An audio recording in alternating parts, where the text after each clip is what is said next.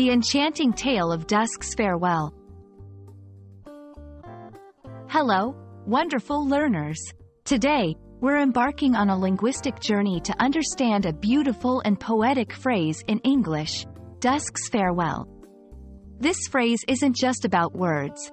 It paints a picture and tells a story, taking us through the transition from day to night. Let's dive into the layers of meaning and usage that make this phrase a gem of the English language. Before we unravel the entire phrase, it's crucial to comprehend its first part. Dusk.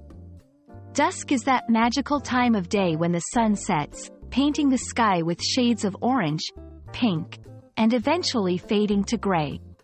It's not just a time, it's a moment of transition, reflecting change and the calm before the night. Now, let's explore the second part of our phrase, farewell. Farewell is a parting word, a goodbye that we often associate with emotions, endings, and sometimes, a beautiful sadness. It's about letting go, bidding goodbye to something or someone. Combining these two words, Dusk's farewell, we encounter a poetic expression. It's dusk saying goodbye to the day, the sun bidding farewell to the sky it lit up. This phrase encapsulates the beauty of endings, the serene acceptance of change, and the silent promise of a new beginning, the night. Dusk's farewell is not your everyday phrase. It's steeped in poetic and literary beauty, often used to add a layer of emotion or description in literature, poetry, and even in everyday conversation when one wishes to be a bit more poetic or expressive.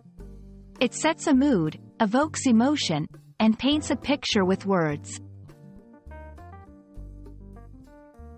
As we conclude our journey through the meaning of Dusk's farewell, remember, language is not just about communication, it's an art. Phrases like these remind us of the beauty and depth that language can convey. I hope this video sheds light on the poetic charm of the English language and adds a new phrase to your linguistic palette. Until our next learning adventure, farewell.